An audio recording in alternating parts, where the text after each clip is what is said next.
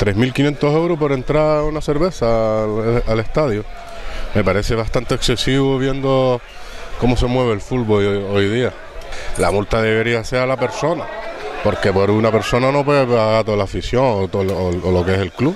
La multa me parece un poco excesiva, la verdad, porque eh, por entrar una cerveza, si tú me dices que son más, pues digo, vale, vale, eh, me parece excesiva, pero que sea solo una cerveza y con alcohol, 3.500 me parece una multa muy excesiva para el equipo. La multa no tiene sentido por entrar una cerveza que multan a una persona. Hay una represión excesiva, sobre todo a los ultras, puesto que no nos dejan hacer nada. Nos multan por todo.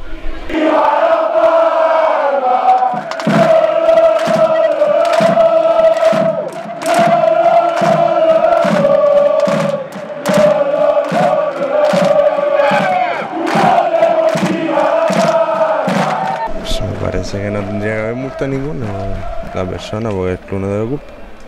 La persona sí, pues se tiene que hacer responsable de lo que hizo y Excesiva es poco, porque por algo que hagan que no tenga que ver con lo que es con el club, que no tiene que ver jugadores, directiva ni nada, no tiene por qué influirle en lo que es en, por tomarte una cerveza afuera dentro del estadio. No creo que nadie perjudique nada por que uno se tome una cerveza y me parece excesivo que se, que se prohíba tomar de hecho alcohol dentro del estadio mientras uno esté bajo control.